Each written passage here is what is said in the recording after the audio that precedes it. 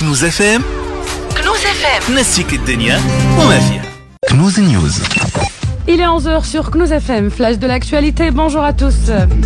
Les forces sécuritaires de la ville de Mater ont réussi dans la soirée du mardi 11 août 2015 à arrêter un individu suspecté d'appartenir à un groupe terroriste.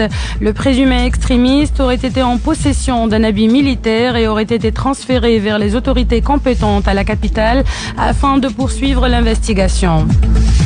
Un habitant de la ville de Qarqna a assuré dans la matinée du mercredi 12 août 2015 la fermeture du port de Sidi Youssef depuis 6h30 suite aux protestations des marins qui contestent l'arrestation de leurs collègues arrêtés pour avoir enfreint la loi.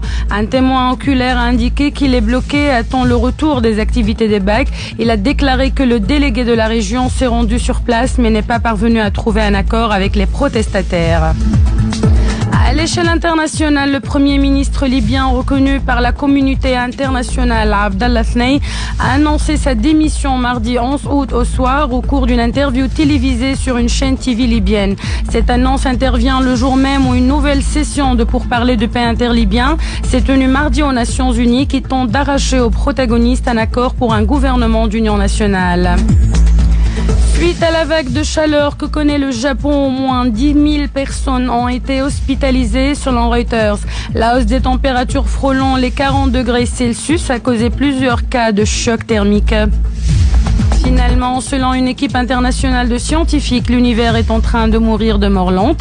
Andrew Hopkins de l'Observatoire astronomique australien explique que le rythme de création d'étoiles dans l'univers est en déclin, mais l'étude montre que le taux de production d'énergie diminue de manière semblable dans les différentes longueurs d'onde. Fin de ce flash d'actualité, excellente journée sur Knus FM. Knus FM Knus FM Denia, on